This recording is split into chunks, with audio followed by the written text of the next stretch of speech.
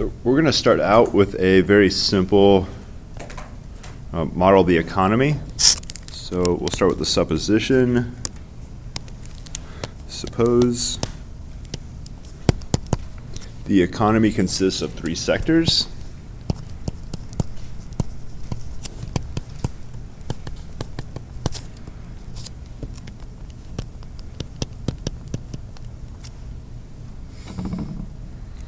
And the three sectors will be service, electricity, and oil production.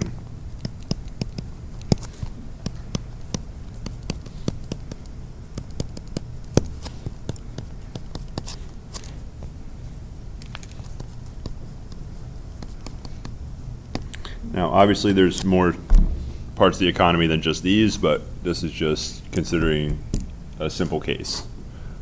There's probably, I don't know, 30 industries or more, so that would be way too complicated. I don't think we want a 30 by 30 matrix, so we'll just stick to three. It's a good number. Two's a little boring, three's just right. Uh, that's true in a lot of things in math. Uh, so we're going to suppose each sector each sector produces one type of good. Uh, and each sector purchases goods from itself uh, and the two other sectors. So, for example, if we think about uh, the electrical industry, yes, they generate electricity, but sometimes they need uh, services to come through and maintain different machines uh, or things to be cleaned. Uh, they very likely are going to buy oil to produce electricity I know there's other ways to produce it too, but we're just going to keep it really simple for this example. So uh, the electricity industry is going to use some services and some oil to produce their electricity. And likewise in the service industry, we're in the service industry right now, and there's lights on, electricity. You probably drove here or skateboarded here, one of the two, but if you drove here, use some oil, or took your motorcycle, use a little less oil. So either industry you're in, you're going to be using, consuming things from that industry and other ones too. So we just have a really simple model here. So I'll write that supposition down. And of course, this half dollar sign means suppose. So I'm going to use that. So we're going to suppose each sector uh, produces one type of good.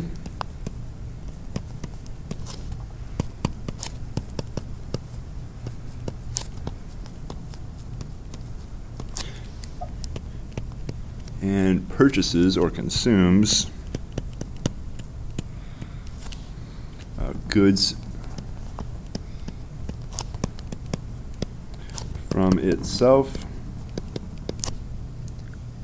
or the other two sectors and or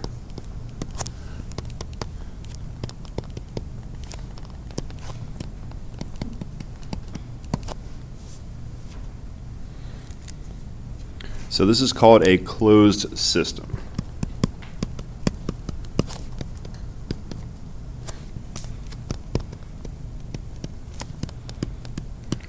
So what a closed system means, there's no other inputs or outputs that are not represented by these three sectors. So obviously there's more sectors. Let's see another one. Timber, that's a big one around here. There's probably a lot, lot of things around here made of wood and so uh, timber production would be another sector that obviously would use oil quite a bit some electricity um, and some service themselves because they need to maintain their machines and all that. Uh, but in this system, we're going to pretend like there is no uh, timber industry. So all the oil that's being produced is going to go into these three industries right here, not any of the other ones. So that's what we mean by closed system. And there's no other inputs. Obviously, food's kind of important. So there's no agriculture in this system right here. So I think most everybody eats food. So that's not represented at all right here. Um, and of course, food needs all these three things to be created. Uh, at least now it does. And so this is a closed system because we're not going to consider any of those other aspects. So everything, all the oil produced is going to go through these three, all the electricity produces in these, and all the services produced are consumed in these three industries. So that's what we mean by the word closed system. So there's no other inputs or outputs.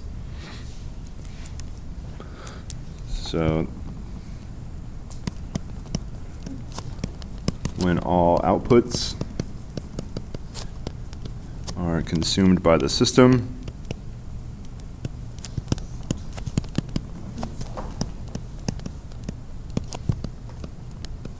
And there are no other inputs.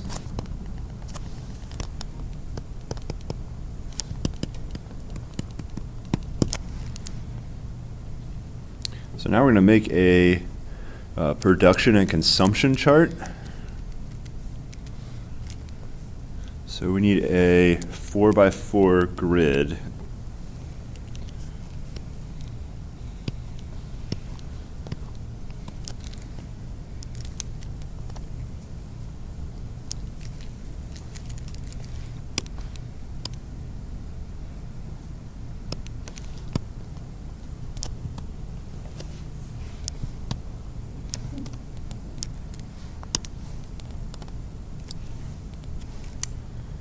So we're going to have production on the horizontal. So this is produced by, and then on the vertical will be consumption, consumed by.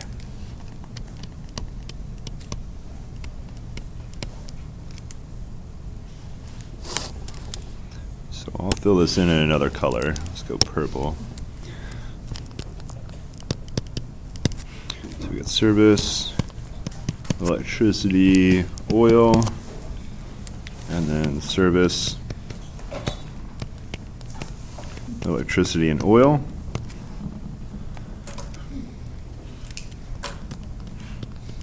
So our numbers will be one fourth, uh, this is going down in the first column, one fourth, one half.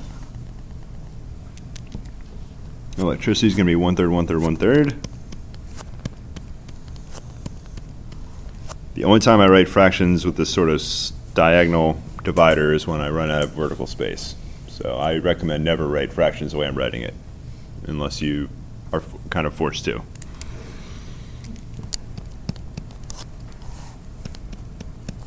So oil is one half, one fourth, one fourth.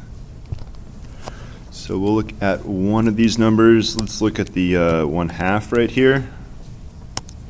So that one half that represents the oil industry. Consumes one half of services output.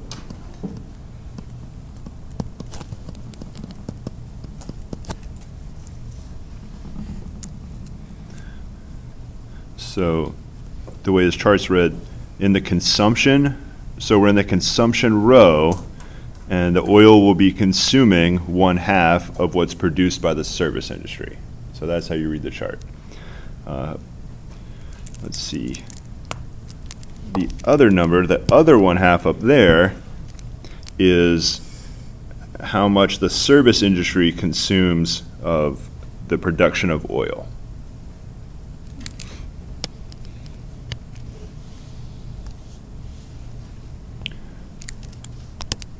I'm going to let x equaling the vector x s, x e, and x o. Uh, these are going to be the outputs of each industry.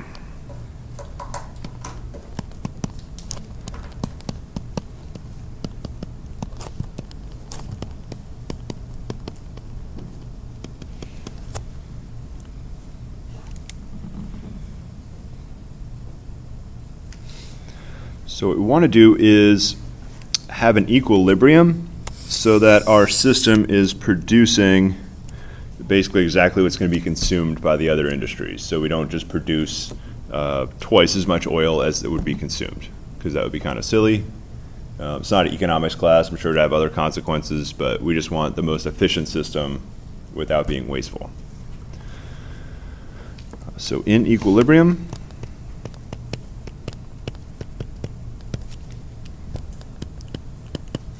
each sector uh, spends its entire revenue on its consumption.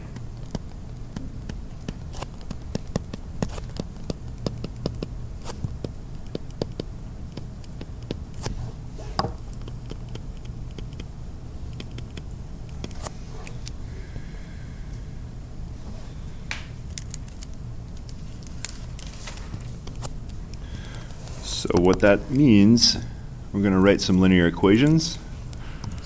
So here XS is going to be the output of the service industry.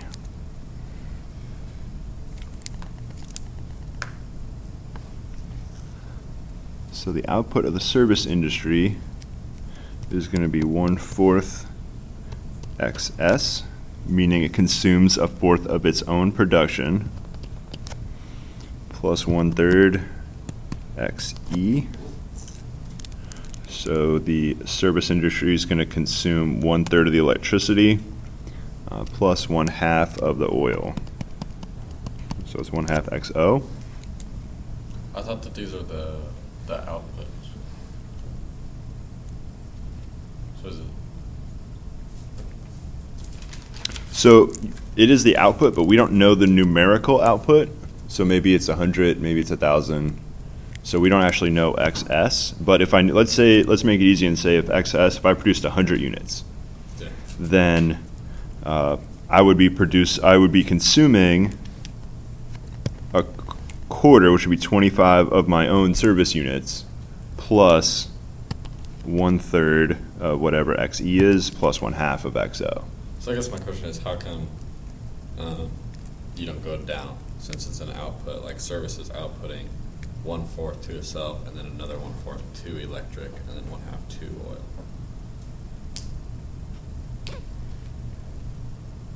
Uh, so you could set it up with the other perspective, which uh, you'd be basically using columns instead of rows. Okay. Uh, so we're setting this up thinking about um, spending revenue, but you could instead look at uh, this is basically expenditure. You could look instead at um,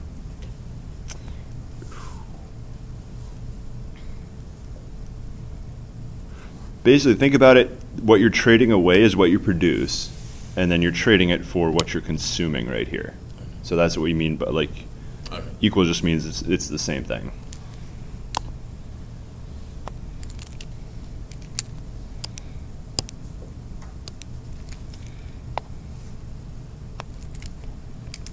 now we're going to go for the xe So XE, that's one fourth XS plus one third XE plus one fourth XO. And then last up, our XO is one half XS plus one third XE plus one fourth XO.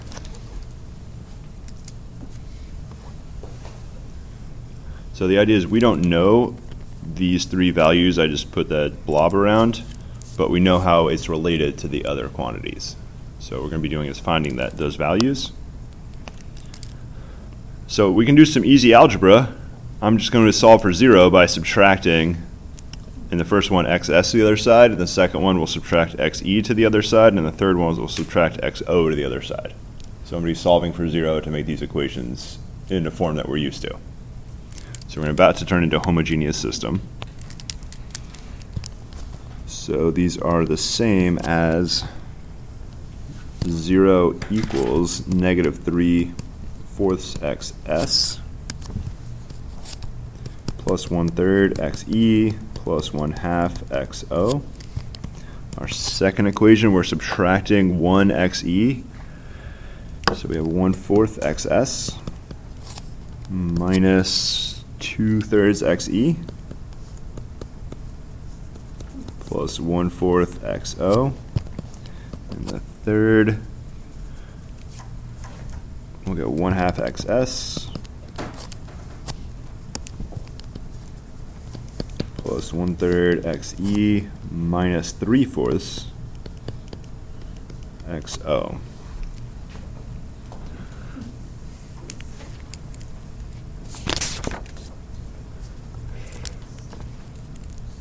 All right, find xs, xe, and xo. You just have a homogeneous linear system. So all you need to do is put in a matrix, row reduce, solve. You should have one free variable.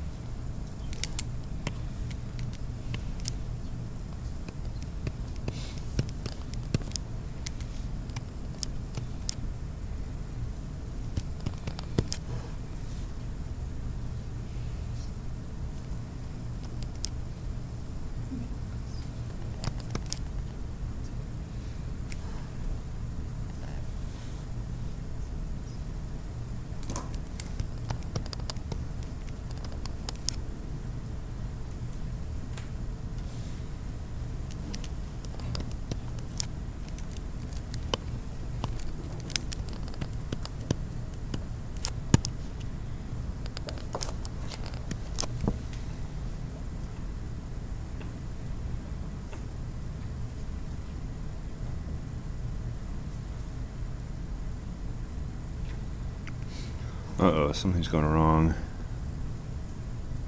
with my arithmetic.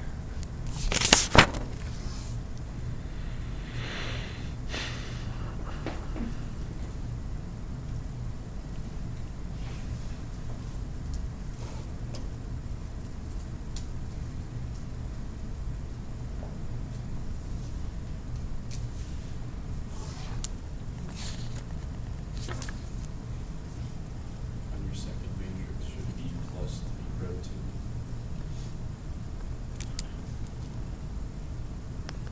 So that, ah, yes. Uh-oh.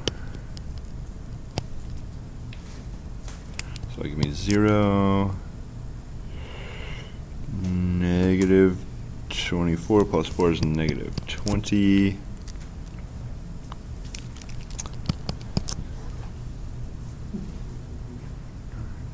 All right, so that will change.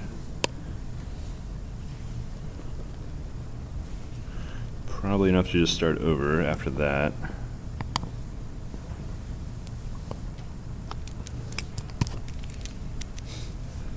So we just go plus row three now, and that should cancel our first to zero.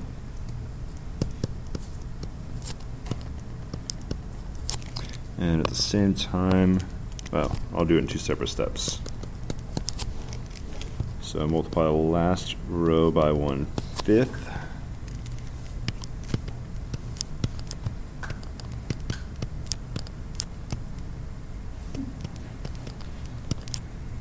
And then the last thing I'll do is plus two row three, clean that second row up a little bit. So I got three, zero, negative three, zero, four, negative three, and multiply by one third.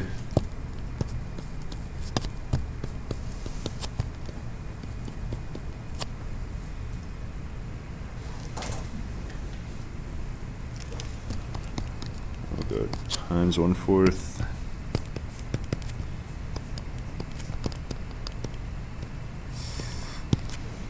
All right, so we got x, and the order's super important because we're not going x0, 1, and 2, or we're not doing numerical order. So it's xs, xe, xp. Hopefully that's right. se. Oh no. Oh, I have p for petroleum. It's xo for oil. All right, so xo is free.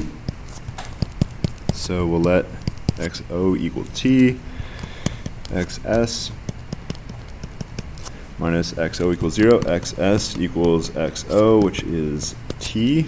And last up, xo minus 3 fourths x, ooh, xe minus 3 fourths xo equals 0. So xe equals 3 fourths xo, which is 3 fourths t. So writing all these together.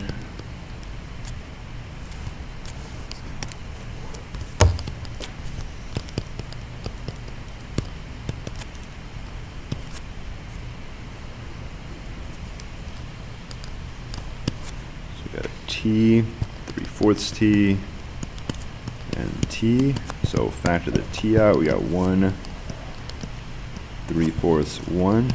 How would I turn this into nicer values that are integers? Multiply by 4. That's all I have to do. So that's T times uh, 1 fourth, 4, 3, 4.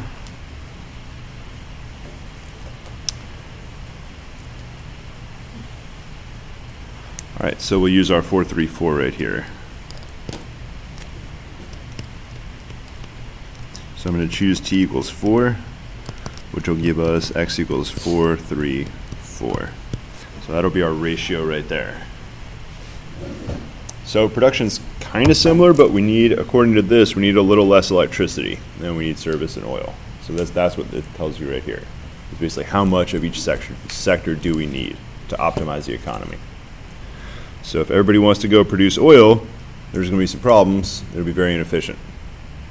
because there'll be a huge need for electricity and services that won't be provided. So this will be the, um, the way to equally distribute it, or optimally distribute it, not equal.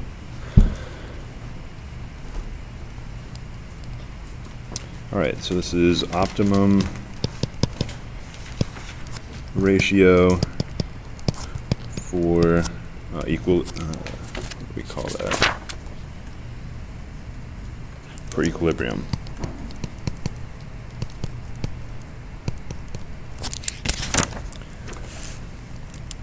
So let's uh, write out. So we're going to go back and rewrite the equation.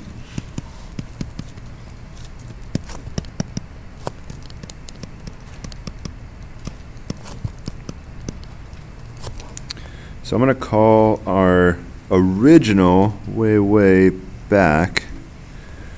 So I'm going to come back here for one minute and I'll use uh, this purple marker. So I'm going to call this matrix E. I'm going to grab the coefficients from above. So these coefficients before I subtract. So I'm just going to grab those three coefficient or those nine coefficients and put them into the E matrix. So we got one fourth, one third, one half, one fourth, one third, one fourth, one half, one third, one fourth. So that's our E matrix. So we'll be using that matrix. And all I'm going to do is rewrite that entire linear system with this E matrix and the variable x. So if we look right here, what I have in the box, if I write it, it's x equals ex. So I got just the x on the left, and on the right, it's e times the x vector. That's how we get that linear system right there.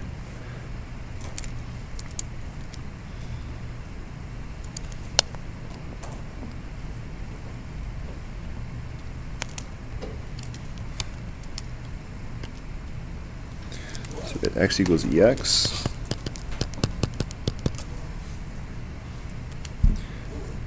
So if we want this to be an equilibrium,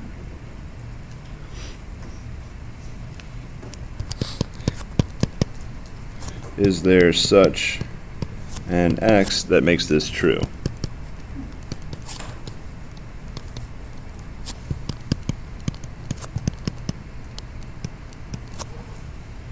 So this is set up very similar to our, I think there's a last problem we did from class on Thursday.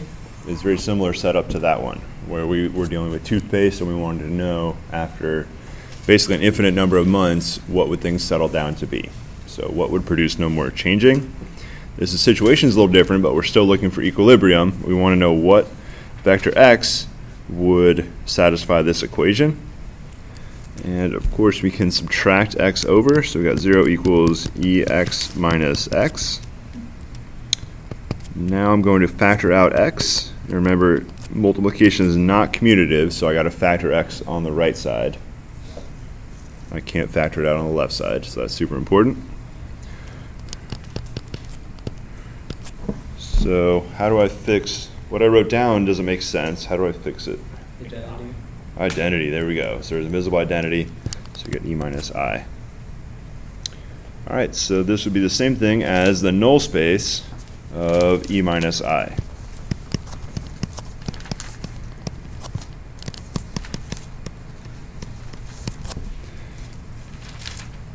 So we'll compute E minus I right now. So E minus I. So our E matrix was one fourth, one third, one half, one fourth, one third, one fourth, one half, one third, one fourth. All right, do the columns make probability vectors? Yes. So they're all positive, and if we add them up, we get one for each column. So that's what it takes to be a probability vector. What do we call a matrix whose columns are probability vectors? stochastic. Stochastic? I think it's stochastic. Yeah. Yeah, so we have a stochastic matrix here. Oh, I did not actually subtract the identity yet. Better do that.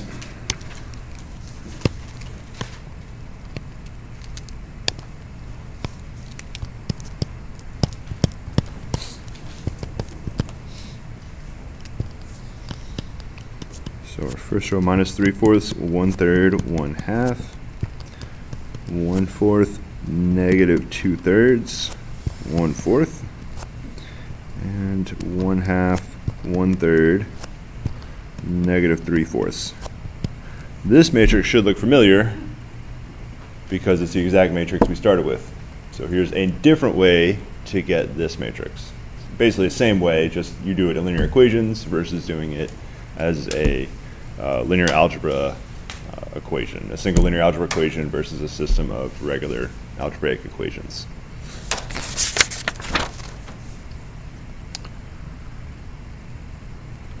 All right, so that is uh, linear economic models.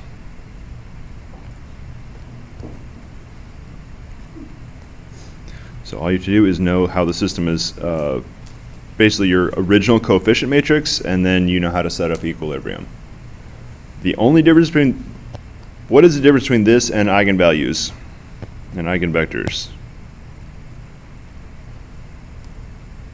Super similar.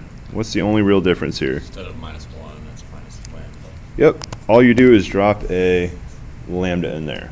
So here, basically, we're trying to find uh, if there is a eigenvalue of one, and then what's the eigenspace. That's another way to think about what we're doing right here. Uh, whereas I, when you bring in eigenvalues, they don't have to be one anymore. Sometimes they're zero, negatives, positives, all that good stuff. And I think your homework, you had a couple complex ones. I was checking them out. So you had some fun with those, hopefully. So I'll keep your uh, quizzes and your final exam real. So you had some questions, and I think there was some ZP, a few ZP problems maybe back in the day. Uh, maybe we just did them in class, I don't know. But I will make sure your numbers are real on your uh, midterms and quizzes. But as you found out in your homework, everything works the exact same, as long as you pay attention and you're careful. Nothing special is going on. So now we're going to get into diagonalization. So I'll change your homeworks around so you have time for your di diagonalization homework.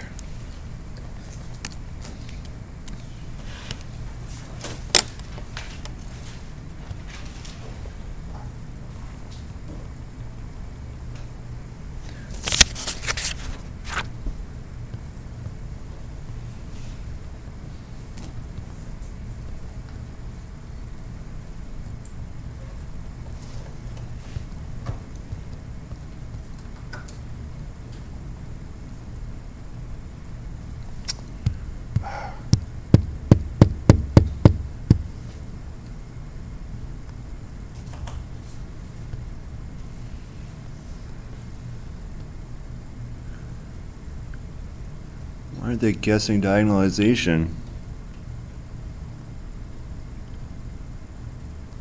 I'm really bad at spelling, and now you're seeing how bad I am.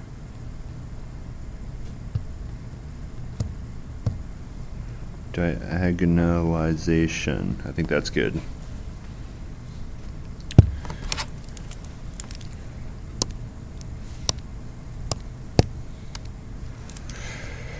Okay.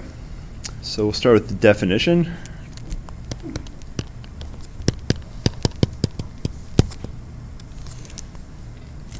So this will be definition of uh, similar. So we'll have two matrices A and B. They need to be square matrices.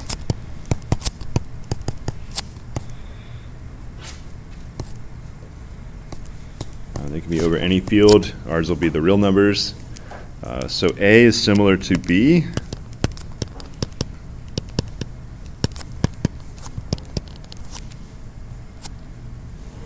Uh, the way we write A is similar to B, we use a squiggle. So it's a single squiggle. I think it's on the keyboard to the left of the one key, somewhere up there. But It's not the best squiggle. I can do better. There we go. It's a little better. A squiggle B. Uh, if there's an invertible matrix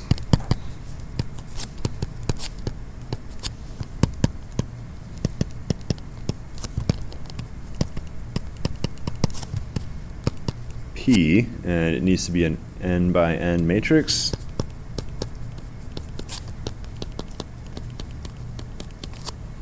Such that P inverse A P is equal to B.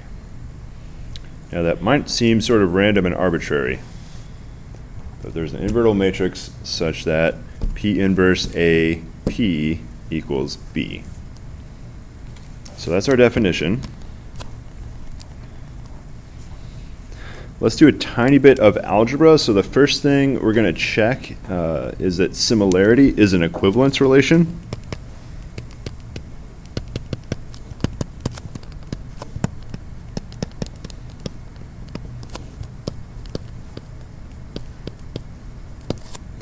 So equivalence relation, has anybody heard that before?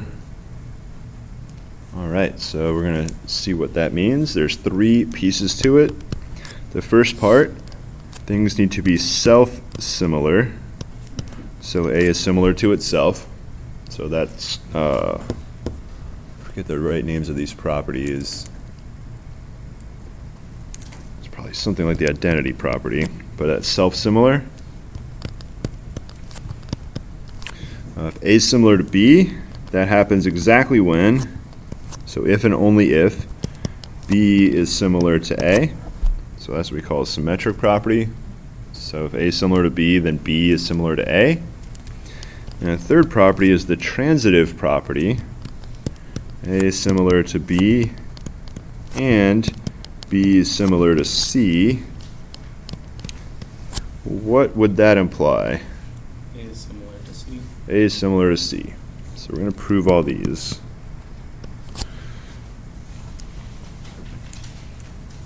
First one I think is called symmetric or reflexive, one of the two. All right, so we're going to prove our similarity is an equivalence relation.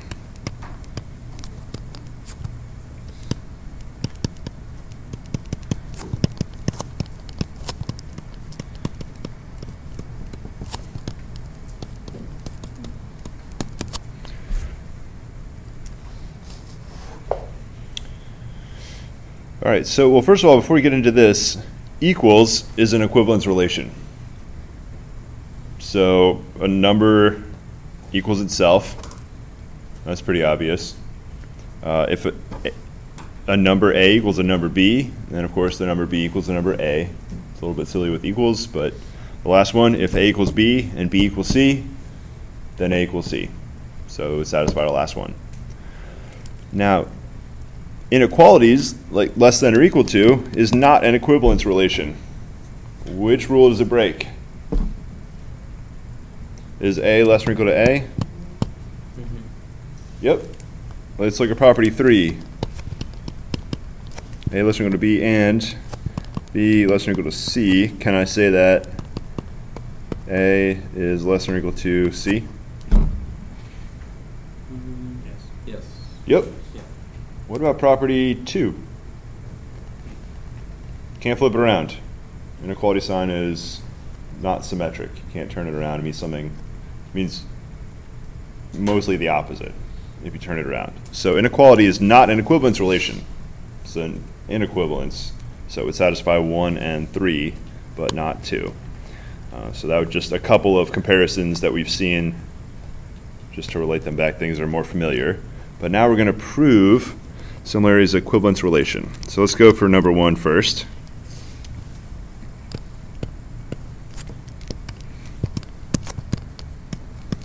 All right, what matrix P would I use here? So I need to show that A, AP, how do I write that? P inverse A, P equals A. What matrix P would I use? Identity. Identity. P is the identity matrix. and clearly multiply by the identity. What's the inverse of the identity matrix? Yeah, identity. The identity matrix, like the reciprocal of 1 is 1. So let P equal the identity matrix, and then you got I inverse A I clearly equals A. All right, so number one's pretty easy to prove. Now we're going to go for number two. So let's suppose, and let's not write the whole word out, save some virtual ink. Suppose A similar to B, we want to show B is similar to A. All right, so if A is similar to B, that means P inverse, there is such a P. There is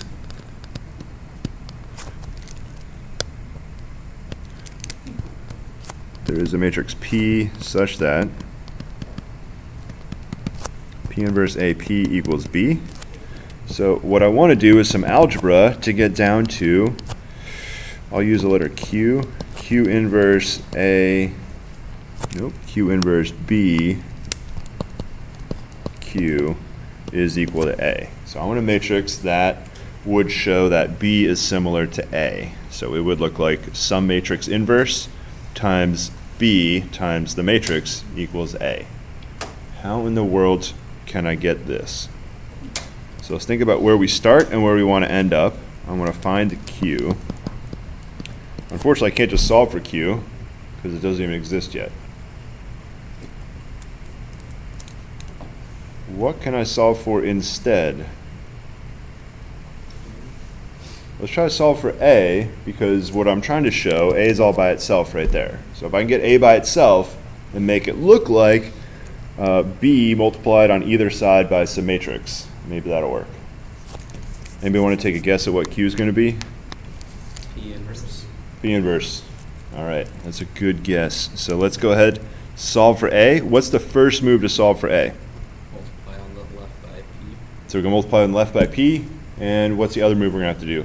Multiply on the right by On the right by P inverse. So you have to make sure you multiply on the correct side the correct matrix. So if I multiply on the left by P inverse, that's not going to cancel out. I'm going to multiply on the left by regular P. So the way I am going to write this, I'm going to do both at the same time because I am crazy. So I'm going to multiply on the left by P and the right by P inverse. I'm doing both at the same time. It's really important that you keep them on the correct side because they, they make a big difference.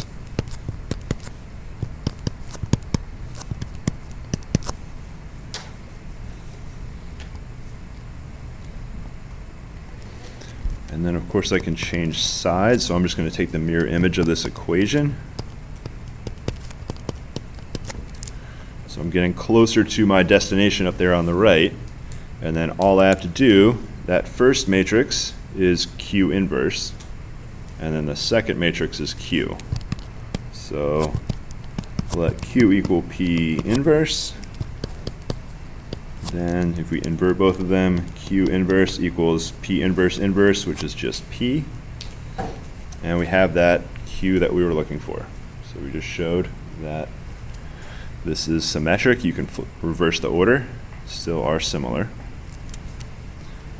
All right, third step, we're going to suppose that A similar B and B similar C, and we want to show that A is similar to C.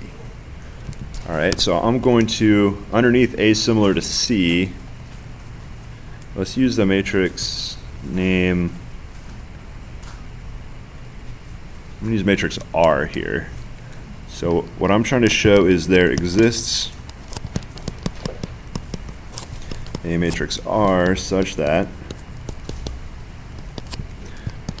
R inverse, yeah, first R inverse A R equals C. So I have to put this inside of a cloud because it's our it's our goal to get there. Eventually, hopefully, we'll get there, but we can't assume it. We're trying to show that's true. So now I'm going to write down what we know. So I know that A is similar to B, so there exists a matrix P such that P inverse A P equals B. There's also a matrix for the other similarity. So B is similar to C. It doesn't have to be the same matrix P. So it could be a different matrix, I'll call it Q. So there's a P such that that, and there exists a matrix Q such that Q inverse B Q equals C. All right, I want you to use algebra and figure out how the matrix R relates to P and Q. So I'll give you two minutes to do this.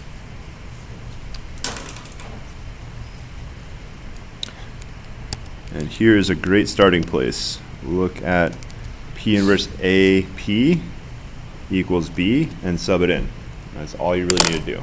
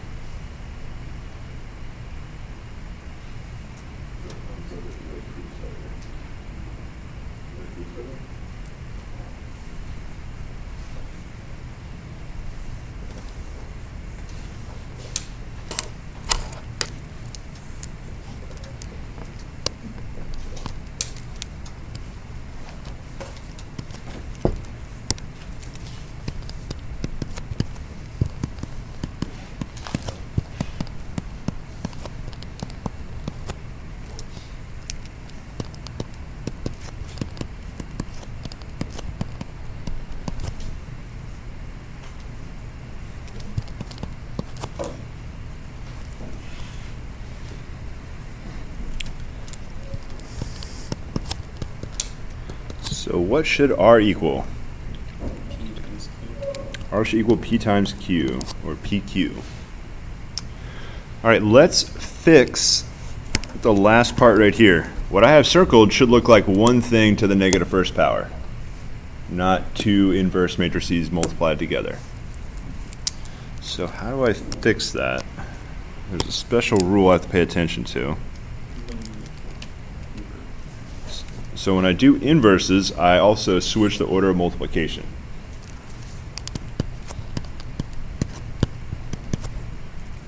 So when you apply an inverse, you actually change the order of multiplication.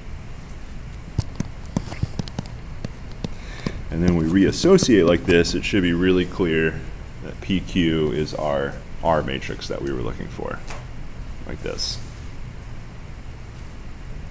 Oh, time to go. All right. Time flies when you're multiplying matrices.